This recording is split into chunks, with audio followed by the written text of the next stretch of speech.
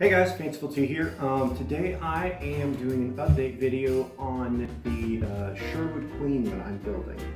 Um, I haven't made as much progress on it as I wish that I could have. However, um, I do have frame one, frame two, and frame three all cut out and ready to be assembled.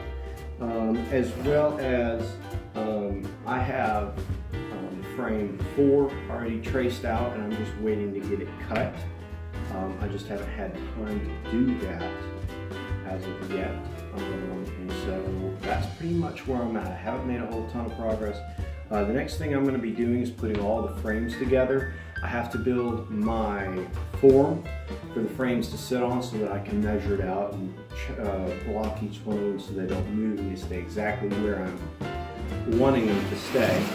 Uh, the other thing that I would have is the transom. I still have to put some of the frames on that, but I do have that. Um, again, it's going to be a 17 foot, so I am extending the hole by 10%, but the plans again say that I can do that.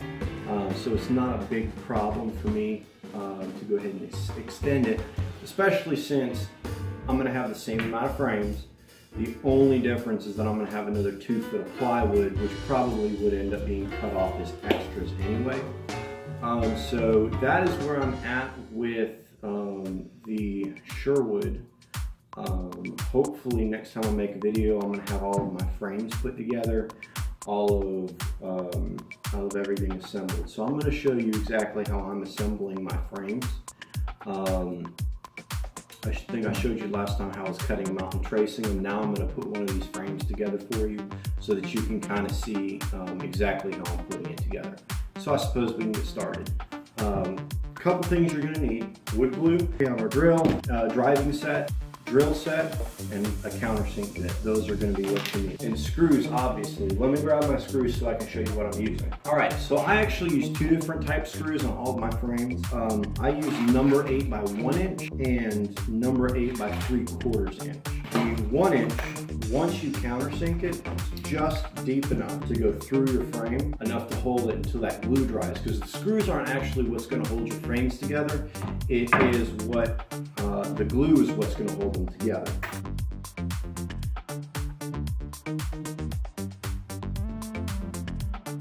I put five holes in it, uh, one here, here, here, here, and here. I can put more in it if I need to. So that's done, uh, and you'll want to put holes in the other one as well. So that's done. Now I'm going to take, you have two different pieces to each frame. You have the verticals and then you have the horizontals. These go across the bottom and then that's half the frame right there. All right. And so then we drill our countersink. Then we take our glue, take and put a healthy amount on the wood because this glue is what's actually to keep the frames together, not the screws. Use the three quarter inch. The reason I use three the reason I use three quarters on this instead of the one inch is that the three quarters is more than thick enough to go through the quarter inch plywood, but it doesn't go through the back side of the frame, which makes it so that you don't have all these screw tips popping out on the other side of the frame.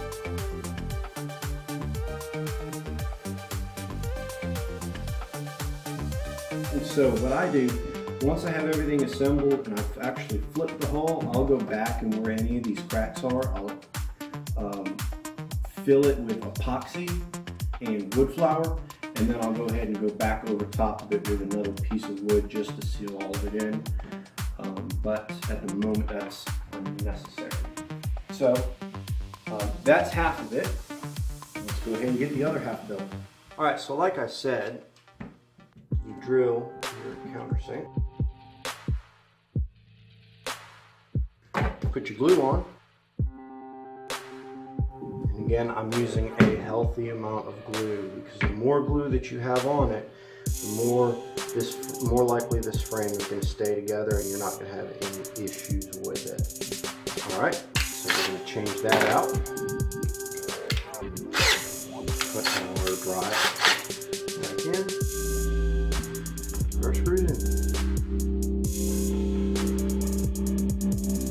Other piece that we need to worry about is this one here. There's our center line.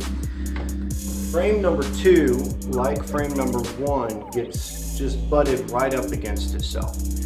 Um, and the reason for that is you don't have to make room for the stem to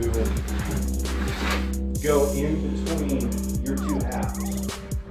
So, all we will be doing is taking this piece, which is actually part of our floorboard, and we will be putting it right here.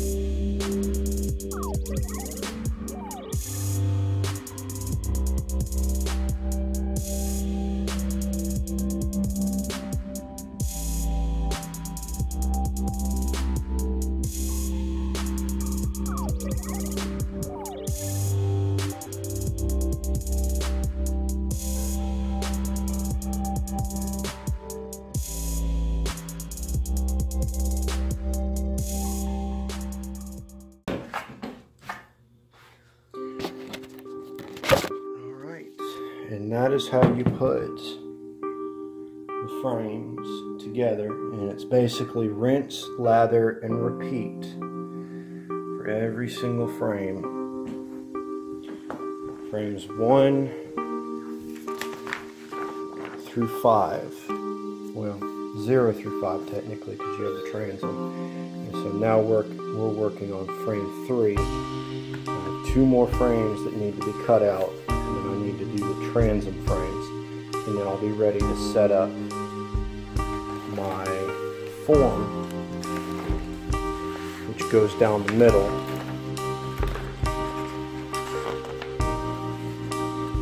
Is also what the floorboards sit on as you can see on this page. The form is this with two by fours that go up and back to the transom and all the way sorry, four. And that is where I'm at. I want to thank everybody for watching. Going ahead and hit that like and subscribe button. Um, hit the notification bell if you want to see all of my videos as I come out with. Um, this is the complete frame three. Um, again, it's going to be a 17 foot boat